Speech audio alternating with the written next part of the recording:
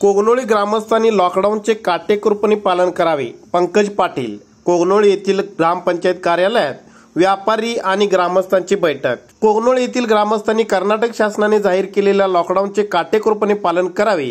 गावातील व्यापाऱ्यांनी सकाळी सहा ते दहा या वेळेतच आपली दुकाने सुरू ठेवावेत. अत्यावश्यक सेवा वगळता बाकीची सर्व दुकाने बंद ठेवण्यात यावीत. या ठिकाणी विक्रीसाठी बसणाऱ्या व्यापाऱ्यांनी सुरक्षित अंतर ठेवून बसावे. मास्क व सॅनिटायझरचा वापर करावा. नागरिकांनी गावातून अत्यावश्यक असले तरच बाहेर पडावे. मास्क वापरावा अशा सूचना माजी जिल्हा पंचायत उपाध्यक्ष पंकज पाटील यांनी केले. ते ग्रामपंचायत कार्यालयात व्यापारी ग्रामस्थांनी यांच्या बैठकीत बोलत होते.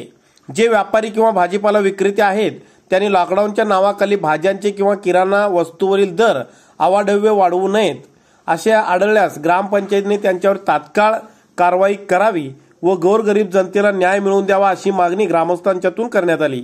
यावेळी ग्रामपंचायत सदस्य तात्यासाहेब कागले यांनी स्वागत केले. भाजपा अध्यक्ष कुमार पाटील यांनी दुकानदार व व्यापारी यांनी ग्रामपंचायत प्रशासनाला सहकार्य करावे. कोरोनाची दुसरी लाट आली आहे. नागरिकांनी स्वतःची काळजी घेणे गरजेचे असल्याचे सांगितले.